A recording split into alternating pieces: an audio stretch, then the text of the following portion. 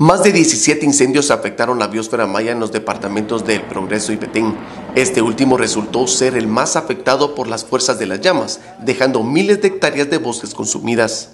Al respecto, el ministro de la Defensa Nacional, Williams Mancilla, informó que hasta el pasado domingo habían 15 incendios ya controlados en la región fronteriza con México y Belice. Gracias a las lluvias y al trabajo interinstitucional de la Coordinadora Nacional para la Reducción de Desastres con Red, Cuerpos de Socorro, Ejército de Guatemala y a la República de México, que se sumó para sofocar estos incendios enviando un helicóptero, los siniestros fueron sofocados. Eh, el día domingo habían 17, el día de ayer lunes ya no había ninguno, hoy todavía hacen un reconocimiento, ¿verdad?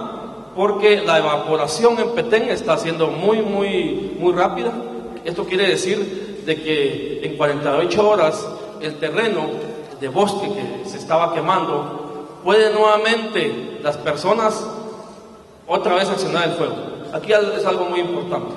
No es producto de la naturaleza que se activa el fuego, sino es producto de la mano humana.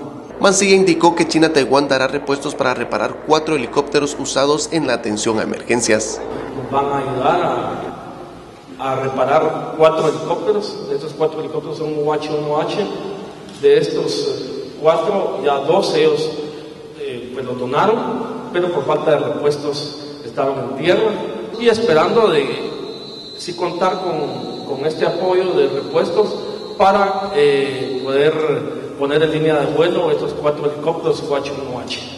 A finales de este mes llegará a Guatemala una comisión de la Fuerza Aérea de Taiwán para realizar una evaluación a las aeronaves, finalizó el funcionario. Para DCATV informó Noé Pérez.